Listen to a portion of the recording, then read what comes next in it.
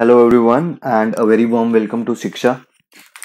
So guys, important agriculture schemes के under एक और स्कीम आज हम कवर करेंगे एंड दैट विल बी और अटल भूजल योजना अक्सर अटल भूजल योजना जैसी जो स्कीम्स हैं जो अभी वर्किंग के अंदर हैं बट स्कीम्स 2019 में बेसिकली ये स्कीम आ गई थी. एंड न्यूज़ में ज़िक्र ज़रूर रहता है इसका लेकिन बच्चे कहीं ना कहीं इग्नोर कर जाते हैं. और अगर आप पिछले सालों के पेपर देखते हो तो बहुत बार ऐसा हुआ है कि पेपर के अंदर इन टाइप की स्कीम्स में से क्वेश्चन आ जाते हैं तो कवर करना बहुत ज़रूरी है।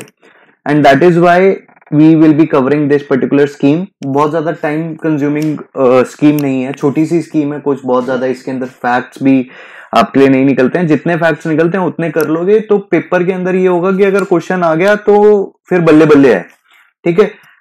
तो अटल भूजल योजना को कवर करते हैं आठ से नौ मिनट का मैक्सिमम वीडियो रहेगा। लेटेस्ट कंटिन्यू तो सीधा आ जाओ इंट्रोडक्शन के ऊपर। तो बेटा, अटल भूजल योजना, इतना तो आप समझ ही गए होंगे कि Atal Bhujal Yojana is something which is focusing on water management ठीक है? Water management ground water management की बेसिकली यहाँ पर बात हो रही है।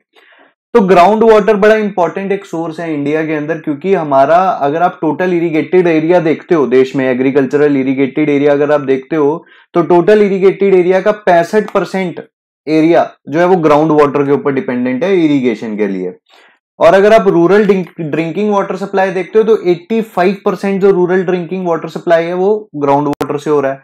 लेकिन ग्राउंड वाटर रिसोर्स ऐसा तो है नहीं अनलिमिटेड है। ग्राउंड वाटर आपने बचपन में किताबों में पढ़ा होगा छठी सातवीं की क्लास में साइंस में पढ़ाते थे, कि यार ग्राउंड वाटर को बनने के लिए हज़ारों साल लगते हैं। तो रिसोर्स लिमिटेड है और यूज़ जो है कंटिन्यूसली बढ़ता जा रहा है, क्योंकि आबादी बढ़ रही है अर्बनाइजेशन बढ़ रही है इंडस्ट्रियलाइजेशन बढ़ रही है। एक तो कमी है। एक तो ग्राउंड वाटर की पहले ही कमी है। दूसरी प्रॉब्लम क्या आ जाती है कि ग्राउंड वाटर की अवेलेबिलिटी भी तो कम है। अवेलेबिलिटी कम है, ऊपर से क्वालिटी डिटीरियोरेट हो रही है क्योंकि पोल्यूशन बढ़ रहा है। ठीक है? तो इसीलिए सरकार एक योजना लेकर के आई जिसका नाम था अटल भूजल योजना। ये योजना को यूनियन कैबिनेट ने, जिसके नेतृत्व प्रधानमंत्री नरेंद्र मोदी ने किया था, इन्होंने 24 दिसंबर 2019 को तय किया कि हम एक स्कीम लेकर के आएँगे, अटल भूजल योजना, जिसको शॉर्ट में बोला जाएगा अटल जल। ये एक सेंट्रल सेक्टर स्कीम होगी सेंट्रल सेक्टर स्कीम का क्या मतलब होता है कि इसकी फंडिंग जो है वो सेंट्रल गवर्नमेंट से आ रही है। स्टेट गवर्नमेंट को इसमें पैसा नहीं डालना है। और इसके लिए सरकार ने कहा कि हम छह हज़ार करोड़ रुपए खर्चेंगे आने वाले पाँच सालों में। और इस स्कीम के लिए जो इन्होंने पीरियड रखा जो पाँच साल का पीरियड है, वो 2020-21 से लेकर के 2024-25 तक का तो ये 6000 करोड़ की वैल्यू याद रख लेना और ये फाइनल जो पीरियड है, पाँच साल का, इसको भी याद ज़रूर रखना है। ठीक है जी? और फाइनली ये जो स्कीम लॉन्च हुई थी, देखो 24 दिसंबर को तो इन्होंने डिसाइड किया था कि हाँ हम ऐसी एक योजना लेकर के आएँगे। फिर इसको लॉन्च किया, प्रधानमंत्री ने अटल बिहारी वाजपेयी जी के जन्मदिन के ऊपर ट्वेंटी दिसंबर 2019 25 दिसंबर को गुड गवर्नेंस डे भी सेलिब्रेट किया जाता है। उस दिन उन्होंने इस स्कीम को लॉन्च कर दिया। तो कई बार वो ये पूछ लेता है कि अटल भूजल योजना जो है वो किस डेट को लॉन्च हुई थी? तो ट्वेंटी दिसंबर टू को ये लॉन्च हुई थी। ठीक है जी, ये स्कीम पूरे इंडिया के अंदर अभी लागू नहीं है। इस पाँच साल के लिए तो ये स्कीम अभी कुछ सेलेक्टेड सेवन स्टेट्स के अंदर ये लागू की जाएगी। तो ये भी पॉइंट याद रखिएगा, वो स्टेट्स कौन से हैं? गुजरात, हरियाणा, कर्नाटका, मध्य प्रदेश, महाराष्ट्र, उत्तर प्रदेश और राजस्थान। ये आपकी सात स्टेट्स हो जाएँगी। ठीक है जी? तो अराउंड 8350 ग्राम पंचायत और 78 डिस्ट्रिक्ट्स को ये कवर करेगी। ये 8350 और 78 टाइप वाले पॉइंट आईबीपीएस एएफओ वाले बच्चों के लिए तो इंपॉर्टेंट नहीं है, लेकिन जो अगले साल के नबार्ड ग्रेड ए के एग्ज़ाम के लिए तैयारी कर रहे हैं, वो बच्चे इस तरह के फैक्ट्स को अपने रिटर्न आंसर्स के अंदर यूज़ कर सकते हैं। ठीक है जी? अब अटल भूजल योजना की अगर हम बात करें अटल भूजल योजना का जो मेन पॉइंट है वो क्या है कि ये कम्युनिटी पार्टिसिपेशन की बात करता है। ये कहता है कि हमने लोगों को पार्टिसिपेट करवाना है इस स्कीम के अंदर। ग्रास रूट के ऊपर लोकल लेवल के ऊपर हमने लोगों की पार्टिसिपेट कर, पार्टिसिपेशन चाहिए। जो भी वेरियस एक्टिविटीज़ हैं वाटर यूज़र एसोसिएशन बनाएँगे हम ठीक है? ग्राउंड वाटर डेटा को प्रॉपर मॉनिटर किया जाएगा उसके अंदर भी लोगों की पार्टिसिपेशन होगी।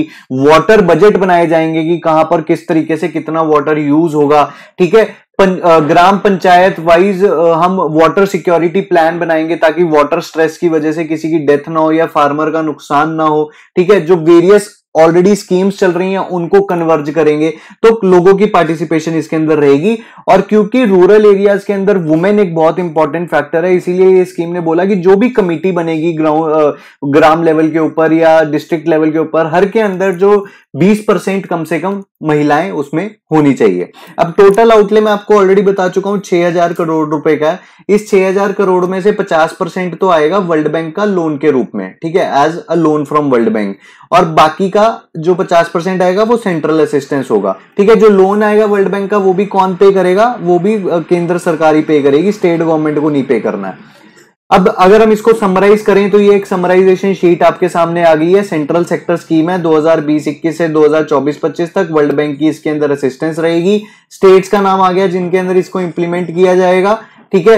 एंड जल जीवन मिशन को भी ये कहीं ना कहीं हेल्प करेगा फार्मर की इनकम डबल करने में हेल्प करेगा। ओके एंड जो फंड्स हैं, वो वर्ल्ड बैंक कब डिसबर्स करेगा? अगर वो अपने प्री एग्रीड रिजल्ट्स को अचीव करेंगे, ऐसा नहीं है कि वर्ल्ड बैंक ने कह दिया कि हाँ भी पाँच हज़ार करोड़ मिल तीन हज़ार करोड़ मिलेंगे तो ऐसे कैसे वो दे देगा। नहीं वर्ल्ड बैंक कहता है कि हम स्टे हमें जो स्टेट्स हैं वो बता दें कि हाँ हमारे ये ये टारगेट है और इस इस टाइम पे हम ये इंप्लीमेंट करेंगे और इन टारगेट्स की इंप्लीमेंटेशन के हिसाब से ही हम पैसा रिलीज़ करेंगे ताकि करप्शन में पैसा कम जाए और कम्युनिटी पार्टिसिपेशन की तो डेफिनेटली ये बात कर ही रहा है। अब अटल भूजल योजना के अंदर दो कंपोनेंट आ जाते हैं। एक तो कंपोनेंट है institutional strengthening and capacity building component इसको 1400 करोड़ मिलेंगे 6000 में से। इसके अंदर हम क्या कह रहे हैं कि कैसे साइंटिफिक अप्रोच के साथ कम्युनिटी पार्टिसिपेशन करी जा सके ताकि जो ग्राउंड वाटर सेक्टर है, उसके अंदर हम टेक्नोलॉजी वगैरह लेकर के आकर के ग्रो कर सकें। दूसरा इंसेंटिव कंपोनेंट जो 4600 करोड़ जिसको दिया जाएगा, इसमें ना स्टेट्स को इंसेंटिवाइज किया जाएगा। स्टेट्स को इंसेंटिव दिया जाएगा। जितना ज़्यादा स्टेट कम्युनिटी पार्टिसिपेशन को एनकरेज करेगी, जितना ज़्यादा stage various state various ongoing schemes को कन्वर्ज करके बेहतर तरीके से काम करेगी, उतना ज़्यादा उनको इंसेंटिव यहाँ पर प्रोवाइड किया जाएगा। बेनिफिशियरीज की बात करें तो women small marginal farmers and agriculture labourers इसका बेनिफिशियरी होंगे। आईबीपीएस एएफओ में एग्ज़ाम के अंदर तो ये डायरेक्टली काम में नहीं आएगा पर इंटरव्यू वगैरह के अंदर वो पूछ लेते हैं ना कि भाई अटल भूजल योजना कैसे आ, किस किस को बेनिफिट करेगा ठीक है? तो वुमेन को बेनिफिट करेगा क्योंकि एग्रीकल्चर में आप देख रहे हो कि वुमेन पॉपुलेशन बहुत ज़्यादा डिपेंडेंट है ठीक है? रूरल एरिया में वुमेन पॉपुलेशन काफ़ी ज़्यादा है। स्मॉल मार्जिनल फार्मर्स को ग्राउंड वाटर बेटर अवेलेबिलिटी हो जाएगी। एग्रीकल्चरल लेबरर्स को डेफिनेटली बेनिफिट करेगा। Central and state government agencies जो ग्राउंड वाटर मैनेजमेंट का काम करती हैं उनको हेल्प करेगा। पॉपुलेशन जहाँ पर फ्लड और ड्रॉट की प्रॉब्लम आ रही है, वहाँ पर हम प्रॉपर अगर वाटर को रेगुलेट करेंगे तो डेफिनेटली वो उनको भी हेल्प होगा। एंड एनवायरमेंट एग्रीकल्चर मिनिस्ट्रीज हो गई रिसर्च एजुकेशन इंस्टीट्यूट तो ये सब मिसलेनियस बेनिफिशरीज हो गए। बेनिफिट्स की अगर हम बात करें तो जल जीवन मिशन को सस्टेनेबिलिटी प्रोवाइड करेगा, क्योंकि जल जीवन मिशन के अंदर हम क्या कह रहे हैं कि हर घर को हम पानी देंगे पाइप्ड वाटर देंगे। तो पाइप्ड वाटर तो आप तभी दोगे ना जब पानी होगा, नहीं तो सिर्फ़ पाइप रह जाएगा। तो बेसिकली जल जीवन मिशन की सक्सेस अटल जल मिशन के ऊपर काफ़ी ज़्यादा डिपेंड करती है। और लोकल कम्युनिटीज की हम एक्टिव पार्टिसिपेशन कराई रहे हैं। जब हम पानी का सस्टेनेबल यूज़ करेंगे तो वो फार्मर की इनकम को डबल करने में भी हेल्प करेगा, क्योंकि सबको पानी मिलेगा फिर। ठीक है जी? उसके अलावा पार्टिसिपेटरी ग्राउंड वाटर मैनेजमेंट है। वाटर की एफिशिएंसी इंप्रूव होगी। और क्योंकि हम प्रॉपर वाटर मैनेजमेंट को इनकरेज कर रहे हैं तो डेफिनेटली क्रॉपिंग पैटर्न भी इंप्रूव करेगा। और efficient and equitable use of ground water तो डेफिनेटली एनकरेज इसमें होगा ही। ठीक है बेटा? So this is all about Atal Jal mission. इसके अंदर बहुत ज़्यादा डिटेल में आपको जाने की ज़रूरत है। छोटी सी स्कीम है और इतने पॉइंट अगर आपने कर लिए तो मेरी गारंटी है, मेरे से लिख करके, लिखवा करके ले जाओ कि अटल जल मिशन का आपका क्वेश्चन जो है वो या भूजल योजना में से अगर क्वेश्चन आ गया, वो गलत नहीं होगा। हाँ अगर कोई करंट अफेयर का कोई फैक्ट आ जाता है नया तो वो आपको साथ के साथ इसमें इनकॉर्पोरेट करना पड़ेगा।